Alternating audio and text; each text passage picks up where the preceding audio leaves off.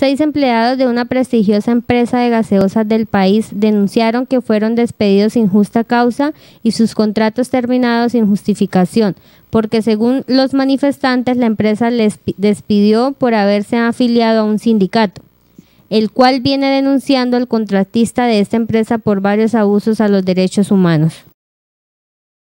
Compañeros, eh, buenos días. Buenos días. Soy José Barrero, vicepresidente de la seccional Sinatrenal Villavicencio y estoy informando que la empresa le está negando la salida laboral aquí a los compañeros vendedores y a, uno le está cancelando el contrato. Entonces, esta es una clara violación a la ley, al derecho de asociación.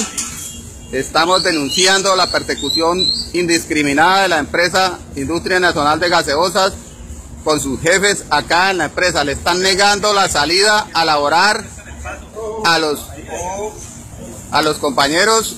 Entonces, que quede claro que los trabajadores en ningún momento se han negado a salir a laborar, que es la empresa la que le está a unos cancelando el contrato y a uno a los otros negando la salida a laborar. Que quede claro esta denuncia. Los trabajadores, el único propósito es mejorar las ventas y mejorar las condiciones de vida aquí en la industria nacional de gaseosas. Que quede claro, porque esto va para la denuncia y la violación del derecho de asociación. Esto es una denuncia nacional que estamos haciendo hoy desde acá de la, la empresa Industria Nacional de Gaseosas, Gaseosas de Villavicencio. Que quede bien claro.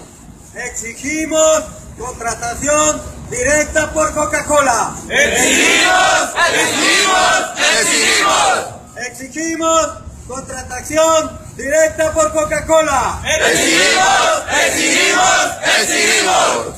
Fuera la administración corrupta de Coca-Cola.